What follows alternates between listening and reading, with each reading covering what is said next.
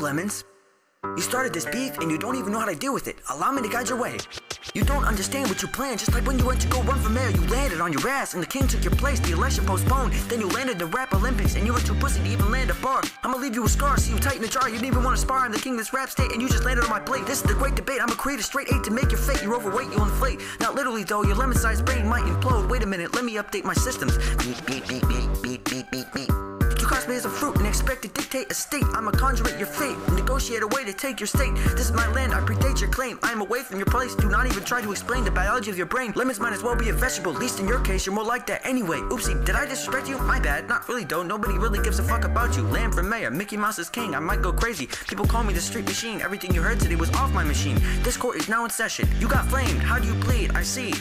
Doctor, doctor, you need to operate. Get the scalpel, there might be something awful. You thought I was done? I've just begun. I went back in time just to fuck with your mind. Guess your mother's father was grandson. Blow a gun. How about a handgun? How about a hit and run? Spin by my home and we'll create the max amount of holes a lemon can hold before those holes produce the sweet lemony smell that my candles hold.